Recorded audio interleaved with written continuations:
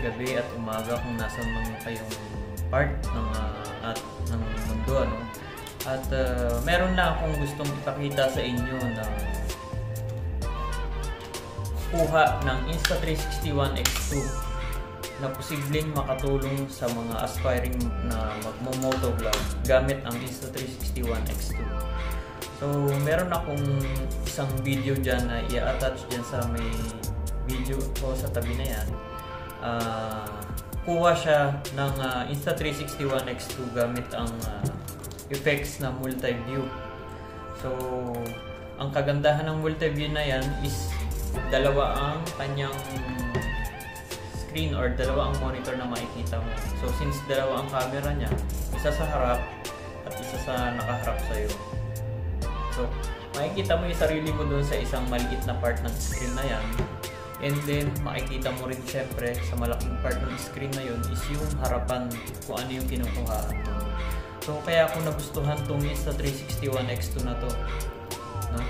Kasi sa mga effects niya, hindi mo na kailangan magpaikot-ikot ng ano, hindi mo na kailangan ng front camera ng camera mo sa helmet. So ito, ipwesto mo lang to sa harapan ng motor mo. Makikita ka na, makikita na rin yung harapan mo. Lalo na at meron siyang ultra wide uh, option dito sa camera na to. So tignan nyo na lang dyan guys yung magiging quality or yung magiging view ng Insta360 uh, 1X2 gamit yung multi-view niya.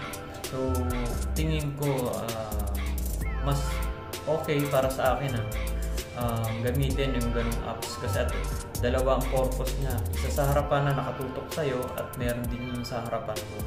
So, tingin ko uh, maganda siya pang motovlog. Lalo na yung ganitong camera kasi is tumatagal siya sa akin 1 hour to 30 minutes, 20 minutes ganyan.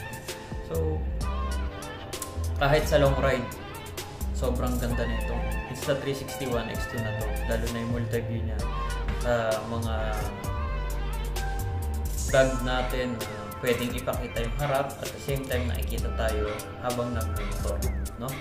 So, ang next natin na ipapakita dyan guys is yung uh, Insta360 Steady View, Steady Mode or yung naka 150 angle lang yung camera niya. So, kung ang camera mo is dalawa, ito, harap at likod. So, itong Insta360 One X2 na to, pwede mo siyang gamitin ng steady mode, yung harap lang.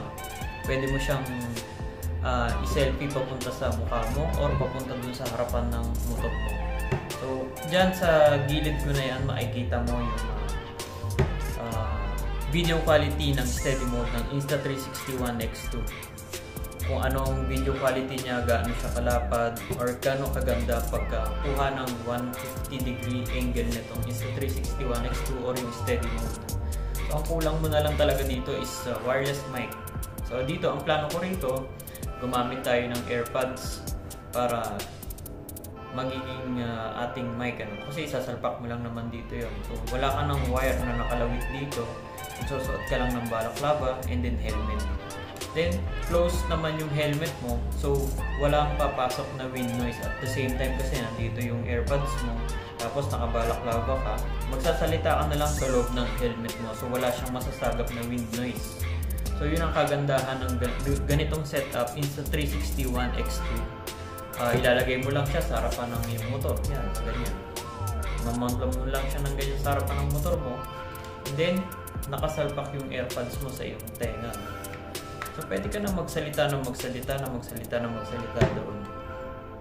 Uh, pwede ka na magkwento o hindi mo na kailangan ng mapakaraming nakasabit sa iyong helmet. Hindi mo na kailangan ng maraming sabit-sabit dito sa inyong camera. Plug and play lang siya. Simple, lagay mo ganyan sa motor mo, i-connect mo siya sa AirPods mo, then ready to go na. So, ganun yung magiging uh, preference ko siguro pag ako yung nag-start na ng pag-motovlog dyan sa Pilipinas. No? So, ayoko kasi nung marami pang masyadong nakasabit kasi medyo mahirap siya. Although, okay naman yung unang mga style ng mga nagmo-motovlog na yung dito yung camera nila sa harapan, ganyan. Yung action camera nila, helmet, tapos may mic, and then merong hard case para ma-mount nila dun sa kanilang mga helmet. Pero ngayon, ah, ang plano ko is ito, Insta360 One X2. Tsaka isang earbuds. Siguro ganun lang ang magiging ah, source ng magiging mic ko. Then ito, ipa-plug ko na lang sa motor. So tingin ko mas mahaba naman din yung oras ng battery niya. Mas matagal din yung recording time niya. So malalaman ko yan pag uwi ko siguro ng Pilipinas kung paano gagawin kong style sa aking pagmumotovlog ano.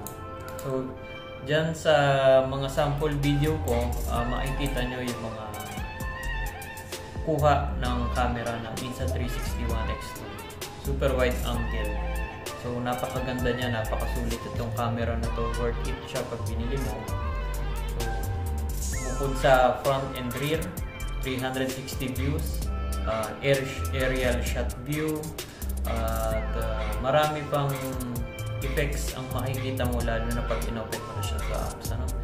so sana nakatulong tong video na to para makapili ka ng iyong ah, camera para sa iyong pagmumotovlog. So ito is a 360 One X2 para sa iyong pagmumotovlog. Sobrang simpleng setup, isang camera, AirPods, on the go. No? So ride safe, maraming salamat.